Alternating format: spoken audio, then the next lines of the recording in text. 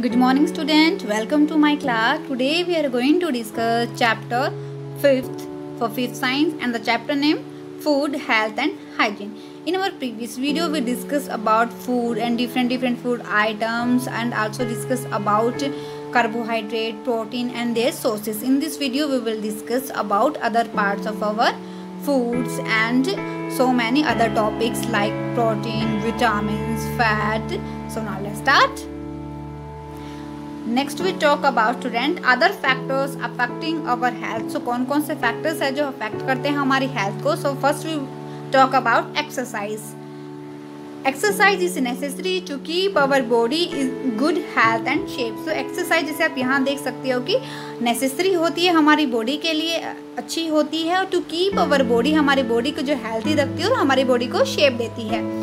Young children need to exercise more so that their body will grow and develop correctly. It means जो young student होते हैं, जो children's होते हैं, जो बच्चे होते हैं, उनको एक्सरसाइज की और भी ज़्यादा ज़रूरत होती है, उनकी और भी ज़्यादा एक्सरसाइज करनी चाहिए ताकि उनकी बॉडी ग्रो करे और उनकी बॉडी क्या प्रॉपरली डेवलपमेंट हो, उनकी बॉडी का हेल्थी वेल्थी रहे, उनकी बॉडी उनकी health next exercise involve the muscles of the body and make them strong it improve breathing blood circulation digestion and other physical processes it means क्या होता है जो एक्सरसाइज कहाँ इन्वॉल्व करती है हमारी मसल्स ऑफ़ दी बॉडी के अंदर उनको क्या करती है उनको स्ट्रॉन्ग बनाती है उनको मज़बूत बनाती है। ऑल्सो इम्प्रूव करती है जो हमारी ब्रीथिंग होती है जो ब्लड सर्कुलेशन होता है हमारा और डाइजेशन में भी हमारी क्या करती है ये हेल्प कर सक करते हैं। सो so, देख सकते हैं स्टूडेंट आप यहाँ look at the different different exercise posture आपको दिखाया गई ये एक्सरसाइज है। एक्सरसाइज हमारी हेल्थ के लिए बहुत अच्छी होती है तो डेली आपको एक्सरसाइज करनी चाहिए सुबह मॉर्निंग में उठते ही।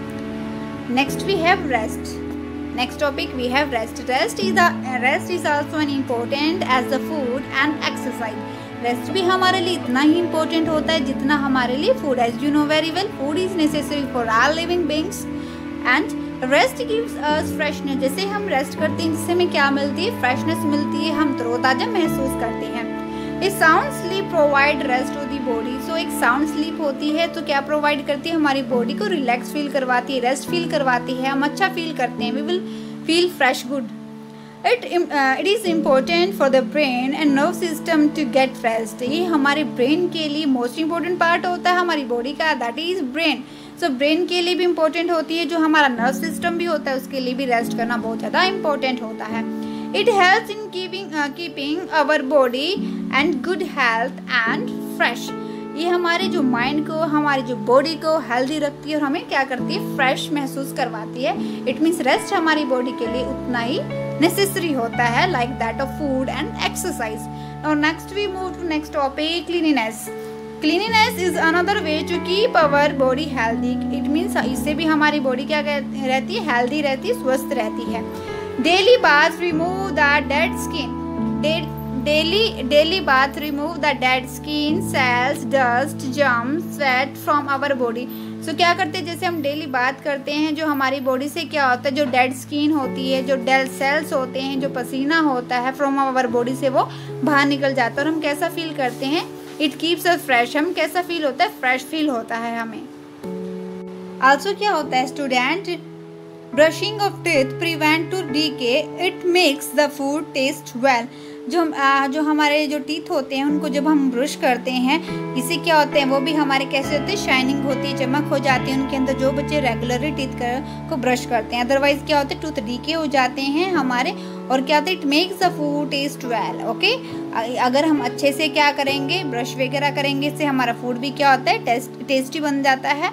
और क्या होता है? हमारा हम फ्रेश भी महसूस करते हैं। सो so, हमने डिस्कस किए topic rest and cleanliness now we move to our next topic next we have student disease the word disease compresses two word dis plus ease means not comfortable it mean two word से बना है dis plus ease it means not comfortable इसमें हम uncomfortable महसूस करते हैं comfortable महसूस नहीं करते।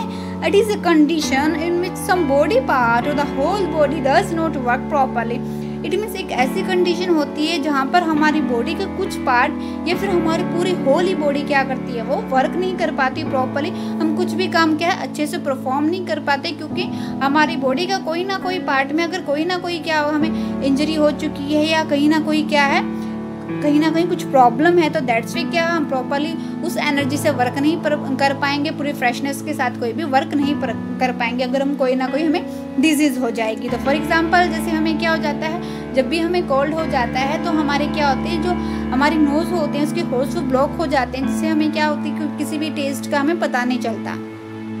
डिज़ीज़ टू टाइप की होती है first will be non communicable disease and next will be communicable disease so ये जो डिज़ीज़ है हमारे, इनको हम डिस्कस करेंगे हमारे नेक्स्ट क्लास में.